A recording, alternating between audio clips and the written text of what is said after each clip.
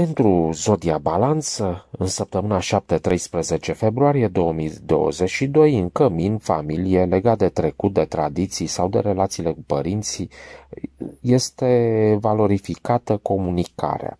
Relațiile orientate foarte practic sunt reduse exteriorizarea sentimentelor, practic acestea sunt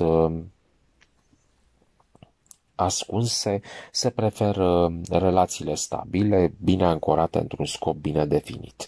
În dat între 7 și 12 februarie, familia, tradițiile, relațiile cu părinții pot putem vorbi de transformări, de renaștere uh, în această zonă, prin originalitate, dorința de afirmare, prin uh, loviturile de berbec, prin uh, ambiție și impulsuri. Relațiile de familie sunt romantice, pasionale, iar în familie, cămin locul de muncă sau în privința sănătății există o bună vitalitate, se poate remarca voința și entuziasmul. Spiritul obiectiv. Se poate folosi energia, practic în sport, drumeții, diverse activități, apare atracția la locul de muncă către onoruri, se formează o configurație de triunghi minor cu planeta focar Jupiter în pești, care afectează locul de muncă și sănătate.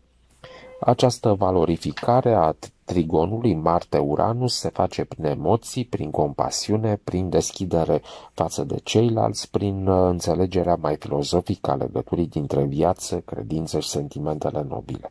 În data de 13 februarie, Venus este într-o conjuncție cu Marte. Această conjuncție are loc în Capricorn și influențează familia, căminul, trecutul și susține stările de viclenie, de iritabilitate, instinctele puternice care pot ieși mai ușor la suprafață.